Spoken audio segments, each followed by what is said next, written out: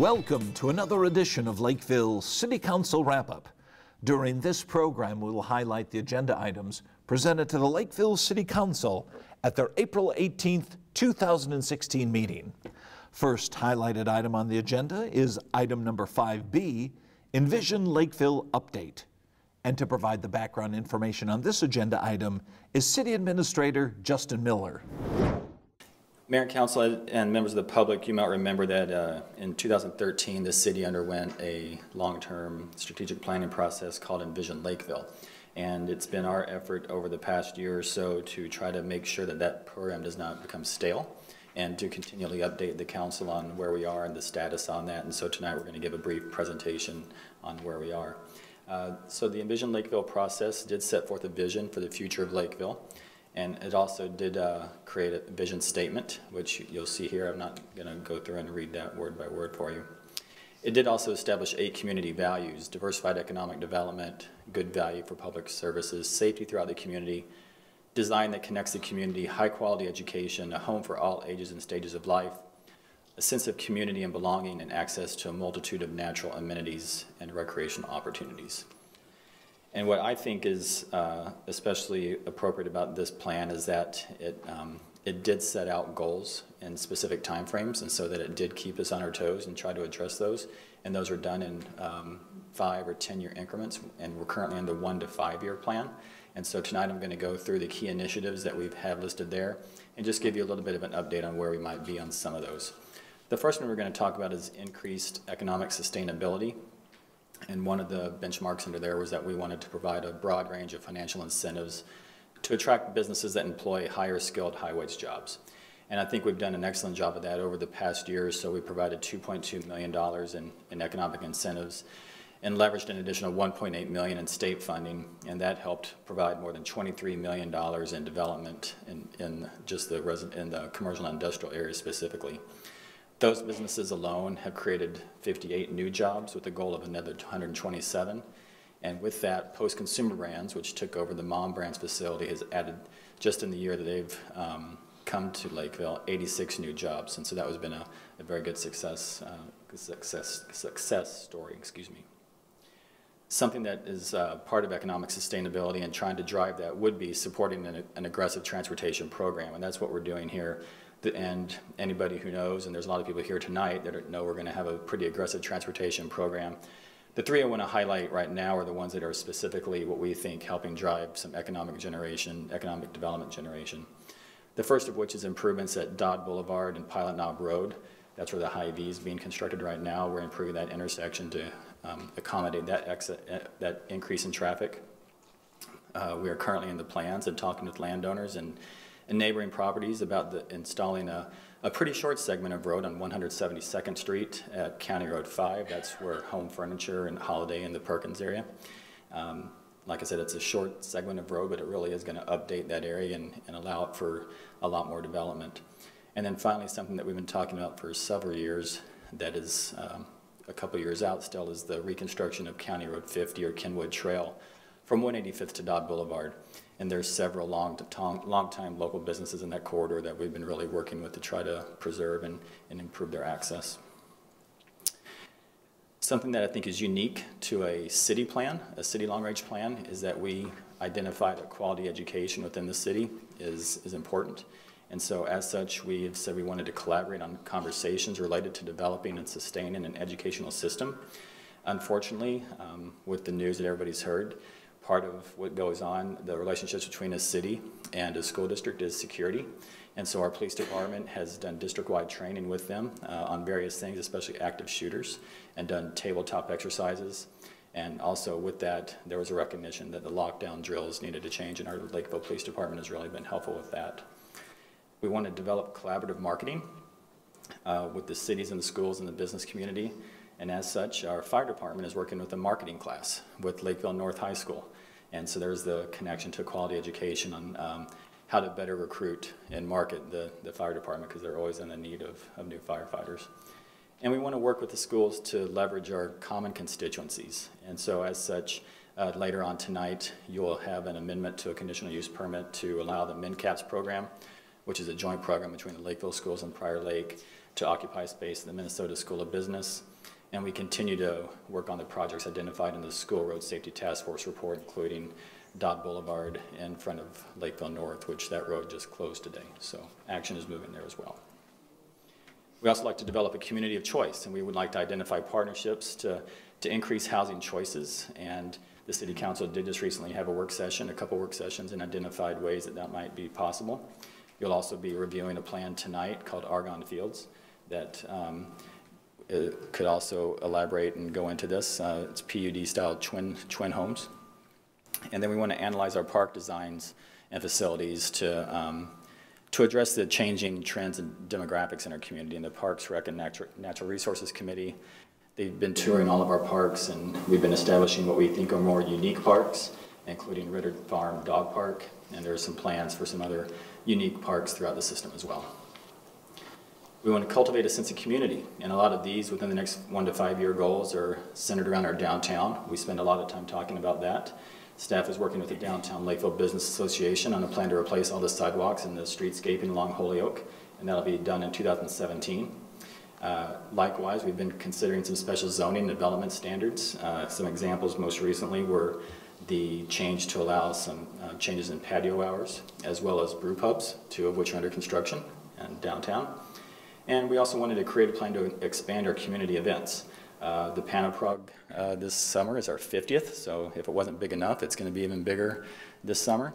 And the liquor department, along with um, the Lakeville Lions, as part of Pan-O-Prog, is looking to renew the Brew Battle, which will be a craft beer tasting event, and the proceeds from that are planned to go toward the Land of Amazement. And services that add value, uh, this is the last one we're going to be talking about. You know, we like to benchmark ourselves and, and do, uh, find what best practices are out there. And as such, the state auditor every year looks at the municipal liquor operations throughout the state. And in 2014, which is the last year that data is available for, uh, Lakeville Liquors was the highest in gross sales, net income, net transfers to the general fund, that is, and had the lowest operating expenses of all other municipal liquor stores. And so I think that's something to be very proud of.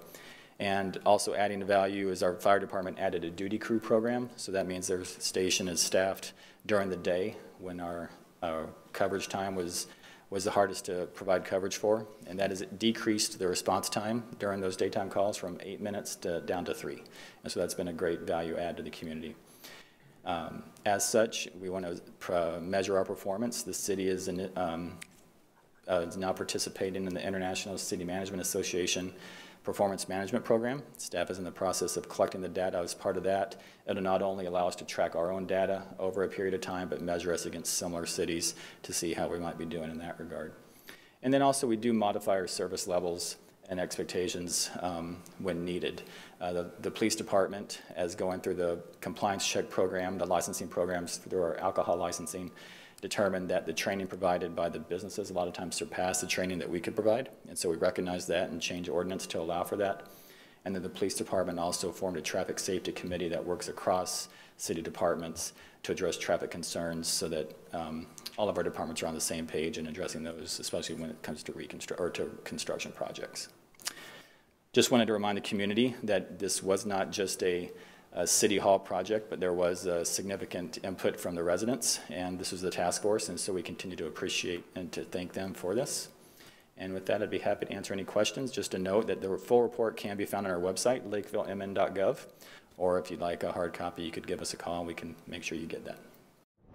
Next highlighted item on the agenda is item number eight, public hearing to consider proposed assessments for the 2016 street reconstruction project. And to give the information regarding this agenda item is Operation and Maintenance Engineer Monica Heil. Thank you, Mr. Mayor, members of the council. As you're now familiar, uh, the 2016 street reconstruction project includes about 8.4 miles of streets proposed to be reconstructed, uh, generally speaking, along the County Road 50 corridor. Uh, The project itself began uh, back in 2014 when we held our first neighborhood meeting with residents to discuss the project. Following that neighborhood meeting, the city council authorized the preparation of a feasibility report, at which time some additional soil boring information was taken. And uh, following those soil borings, uh, we had a second neighborhood meeting with residents in June of 2015 to discuss the scope of the project and the work that would be completed uh, as it related to some of the findings from those soil boring reports. The feasibility report was completed last fall, and a public hearing was held for the project back in November of 2015. After that meeting, we prepared plans and specifications, bid the project on March 4th, and declared cost to the City Council at its March meeting. We held our third neighborhood meeting for residents of the project area last Monday night. We had about 90 residents and business owners attend that meeting. Within the project, we are proposing some water main replacement work uh, within the South Fork commercial area as well as the South Fork Village townhomes. It is proposed to completely replace the existing iron water main within that area of the project with plastic water main. The reason is due to a break history and the corrosive soils found in the area. Uh, the soils uh, are clay and are corrosive to iron pipe, so that is why we were replacing it with plastic pipe, uh, which will not be adversely impacted by the, by the clay soils that we have. Along with the water main replacement, we'll also be replacing all of the hydrants in the area and services leading into businesses. The street improvements throughout the project will vary uh, largely due to utility needs. We've looked for opportunities to couple complete street reconstruction with utility replacement needs, and we've defined seven different areas within the project uh, based on varying scopes and different methods for calculating unit assessments.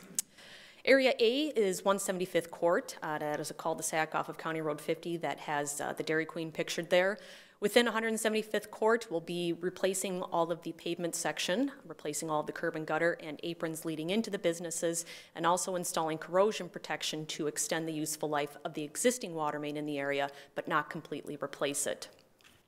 Area B of the project is the South Fork commercial area. and that area, due to the water main break issue, that one just occurred last fall, uh, we will be replacing all of the existing iron water main with plastic water main as a part of the project. In addition, we'll be installing some additional storm sewer enhancements and drain tile to address some localized drainage issues. Concrete curb and gutter and driveway aprons leading into all the business in this, businesses in this area, excuse me, will also be replaced.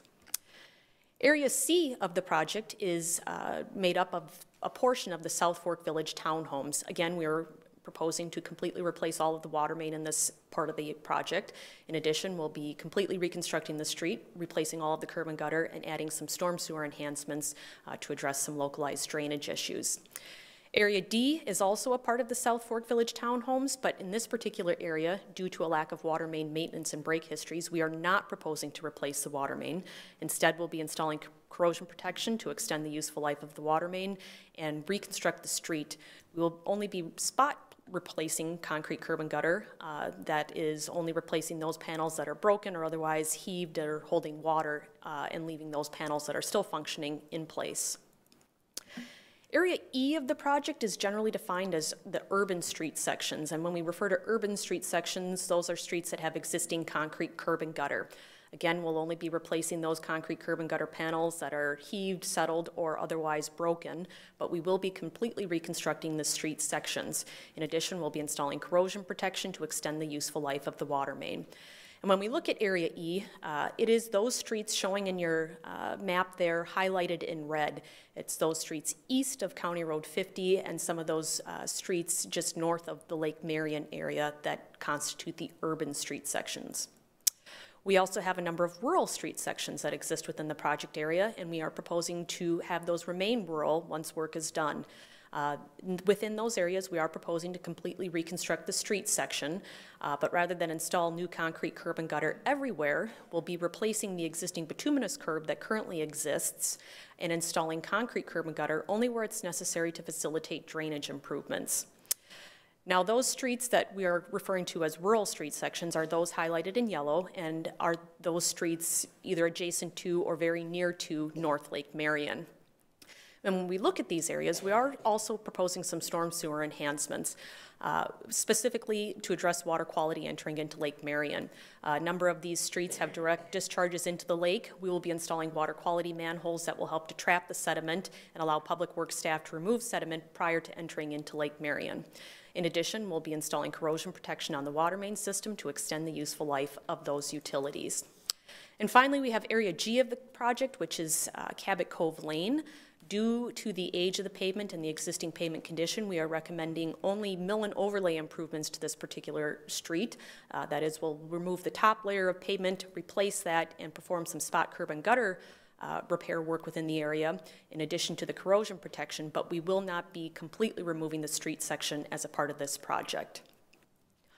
When we look at the projected costs for the project, the feasibility report estimate last fall estimated the project costs at $12.9 million. Uh, once we bid the project, the final project costs were determined to be $12.1 million, which was about a 6.4% reduction from the original estimate. When we look at the financing and the, and the project costs, uh, as a result of this lower than expected bid price, we do see a reduction in all of the funds that are contributing to the financing of this project. Uh, one thing I'll draw your attention to is the very bottom line there, uh, the trunk storm sewer fund. When we initially prepared the feasibility report for the project, we did not identify any trunk storm sewer funds contributing to the project. However, many of the water quality manholes that are being installed as a part of the project do serve a more regional purpose, and rather than specially assess for those improvements, the city's trunk storm sewer fund will be paying for those improvements wholly. The city's assessment policy is to specially assess those benefiting property owners 40% of the street and storm sewer improvements. Water main and sanitary improvements that will be completed as a part of the project are not assessed. Our trunk funds will pay for those improvements to the city's water and sanitary sewer system. The city's assessment policy also guides that assessments are calculated on a per unit basis for properties zoned for single family use. That is to say that every single family unit within a specific project area receiving the same type of improvements pays the same assessment amount. The reasoning behind that is that every single family home generates the same amount of traffic as its neighbor, and rather than calculate based on frontage, we calculate it on a per unit basis. Duplex and townhomes, according to the city's assessment policy, are assess assessed one half of a single family unit.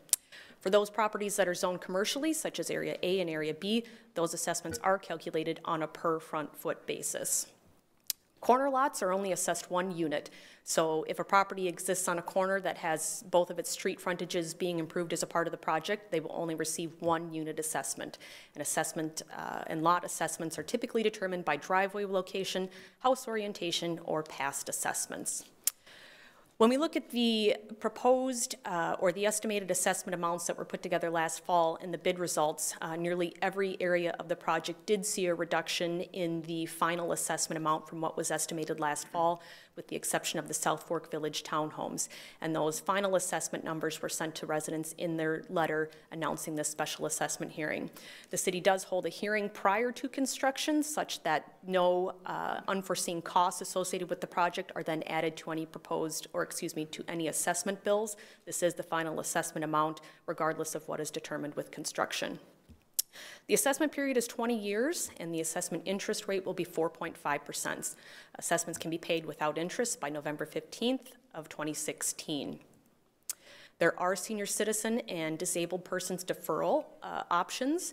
Uh, I won't go through the list of things that would uh, cause for the deferral to end, but applications are available both on the project website and at the engineering counter at City Hall if there are any interested parties. Any applications for deferrals must be received by September 30th of this year. Assessments will be certified to the county in December of 2016, and the first payment will be due with taxes payable in 2017. Our assessment policy follows Minnesota State Statute 429 regarding public improvements in the special assessment process. Written intent to appeal must be presented in writing and signed by the property owner prior to or at this evening's hearing. Looking forward, we'll have the assessment hearing. Uh, following that assessment hearing, the City Council will have the option uh, to consider awarding a contract for construction. Uh, should the Council move forward with awarding the contract, construction would begin later this week in some portions of the project, weather permitting. Construction will continue through November of 2016, and assessments would be certified to the county in December of this year. We do have a preliminary phasing plan put together for the project. Generally speaking, the contractor would look to get on those streets located east of Kenwood Trail later this week to begin some of their improvements. Uh, this map is also available on the project website and will continue to be updated through construction as weather and construction uh, conditions may cause some changes in this map. The next steps would be for the City Council to hold the assessment hearing and then consider awarding a contract for the 2016 street reconstruction project. Prior to that, I'd be happy to answer any questions that you might have. Item number eight was approved by the Lakeville City Council.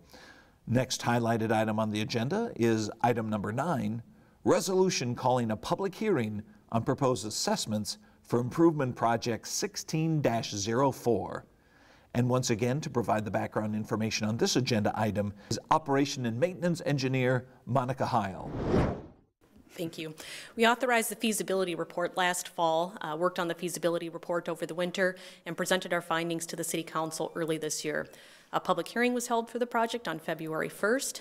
Plans and specifications were prepared, and bids were received on April 1st. Street improvements include the reclamation of the existing roadway section as well as some minor utility repairs.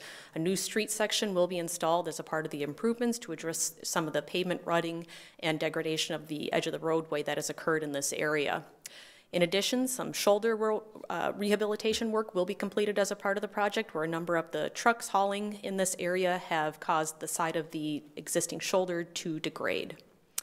The feasibility report estimate for the project was $416,535,000. Based on the bid we received, the project costs are estimated or finalized at $324,180, which was a 22% reduction. We saw uh, very favorable bids, a number of bidders. It was bid as a late season project to uh, await the completion of some of the improvements taking place at the interstate property. And so uh, we got very good response on this particular bid letting. Based on the original estimates, uh, property taxes and special assessments were funding the improvements, and both of those uh, funding shares have been reduced by 22% based on the bid that we did receive. The front foot assessment rate was originally estimated at $33.76, and based on the bid result, has been reduced to $26.28. Special assessments are proposed to be considered at a separate hearing on May 16th of this year. Uh, similar to the street reconstruction project, assessments for this project can be paid without interest by November 15th of this year, and it is again a 20-year assessment period. Looking forward, uh, after we declare the costs and set the assessment hearing tonight, we would propose to hold that assessment hearing in May. The council would then have the option to award a construction contract at that same meeting. Uh, construction would commence in August or September of this year, uh, depending on the timing of the completion of the work at the interstate parcel. Once that gets going, uh, construction will be completed in September or October, and assessments will be certified to the county in December of this year. Next steps, the council has a resolution before them calling for a public hearing on the proposed assessments for City Improvement Project 1604 and I'd be happy to answer any questions you might have. Item number nine was approved by the Lakeville City Council. Next highlighted item on the agenda is item number 10, Argonne Fields. And to give the background information regarding this agenda item is Director of Planning Daryl Morey. We'll start with the location of the preliminary plat, uh, which is at the very south end of Janelle Path. Uh, it's behind, if you will, the Argonne Cub Foods and the Argonne Commercial Development. And the proposal is for 20 twin home lots, and it's on 9.66 acres.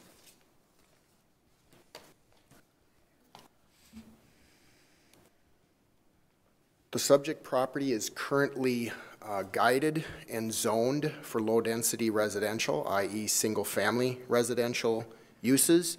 Uh, the developer is proposing a couple of applications in conjunction with the preliminary plat, including a comprehensive plan amendment to re-guide the property from low-density residential to low-medium density residential, and then also a rezoning to, um, or a zoning map amendment to rezone the property to PUD from the current RS2 single-family residential district and looking for a couple of flexibilities in terms of the PUD rezoning. This is a layout of the preliminary plat, a nice colored drawing, which was not done by me. That's why it looks so good. Um, The, uh, as you can see, the access for the uh, twin home buildings in this particular development will be from a private drive off of the end of the Janelle Path cul-de-sac. Uh, Private drives are allowed uh, in the RM1 district. That's the district we use as the base for the planned unit development. Uh, But the number of units off of the private drive exceeds what the RM1 district uh, standards would allow. So that is a flexibility that's being requested by the developer uh, as part of the PUD. And also, um, in terms of setbacks from the private drive, uh, they're requesting a 25-foot setback from the private drive. The RM1 standard is 30. Uh, 25 feet still is sufficient to allow the parking of a vehicle in the driveway in front of the garage without overhanging and impacting the private street surface. And then uh, setback flexibility between buildings. Uh, The RM1 standard is 25 feet. The developer is requesting 20 feet, and that would be for these units here along the south side. Uh, If you recall, the city council approved an amendment to the zoning ordinance last month to- that reduced the setback for detached townhomes in the RST2 district down to 14 feet. Uh, And, and the twin homes here would be something fairly similar, similar, so staff feels that the 20-foot setback for those particular buildings along the south side to be appropriate. And the main reason for the flexibilities is because of the environment of this parcel of land. The proposal, um, again, to re-guide this for low, medium density residential and to have these twin home units, as you heard, to be marketed for, basically for empty nesters and seniors, certainly is uh, a housing product that would meet the city's life cycle housing goals of the comprehensive plan. Now, the five units per acre that is part of the staff report that you see is uh, based on the net density. And that's because the wetland, which is basically this whole southerly, over half of the property, uh, takes the density down. If you were looking at it from a gross density standpoint, it'd be only about two units per acre. But because that area comes out of the net density calculation, that's how you get to the five units per acre. And since you have a parcel of land that really only has the northerly portion that's developable, and uh, the constraints that you have, again, with the wetlands and topography, uh, staff uh, felt it was appropriate and supported the flexibilities that are proposed by the developer as part of this PUD. And the design uh, that was chosen uh, was reviewed and discussed with staff uh, uh, under sev um, several um, sketch plan iterations. There was uh, consideration of the possibility of making a street connection to the east, but given the grades that are out there and the short uh, distance that you would have to punch that street through from Janelle Path to the east, it was de deemed to be unfeasible uh, in terms of uh, meeting city standards for street uh, percentage, grade percentage. Just a little bit, uh, a quick history. The property uh, a long time ago, when I was first planner here, was actually zoned com commercial and had been zoned commercial for quite some time. Back in 1998, uh, there was a consideration to rezone the property and a couple of the properties to the north from commercial to low-density residential, and that's where the R2 or RS2 now uh, category uh, comes into play, and that's been rezoned since 1998. Uh, as I mentioned, the uh, wetland buffer, wetland and wetland buffers comprise about five acres of this uh, 9.66 acre site. Um, there is a small uh, portion of right-of-way of Janelle Path that's requested to be vacated uh, That's not before you this evening. That resolution will come forward in conjunction with the final plat if the city council indeed approves this preliminary as presented.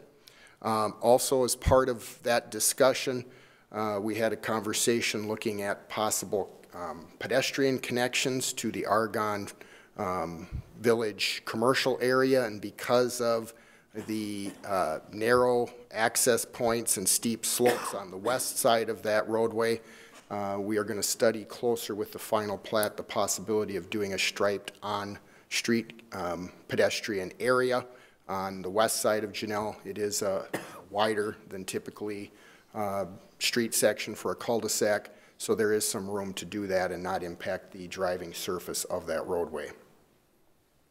The uh, Planning Commission held a public hearing on the preliminary plat and the comp plan and zoning map amendments at their April 7th meeting uh, and unanimously recommended approval of the requests. There was public comment from one neighboring property owner at that meeting. The Parks, Recreation, and Natural Resources Committee also recommended approval unanimously of the preliminary plat at their meeting on April 6th.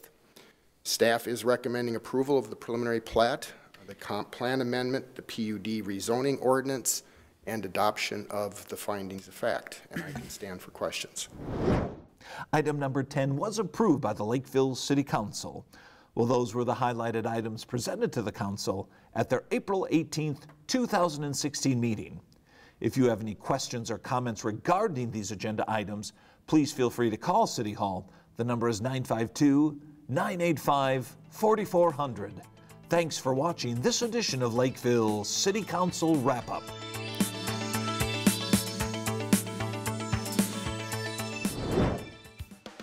The Lakeville Rotary presents the annual Taste of Lakeville at the Lakeville Area Arts Center on Thursday, May 19th from 5 to 9 p.m. Enjoy food samples from area restaurants, as well as wine and beer tasting galore, plus live music and silent auctions. Tickets are 35 in advance or 45 at the door. Proceeds benefit local scholarships and community projects. Check out event details at tasteoflakeville.org.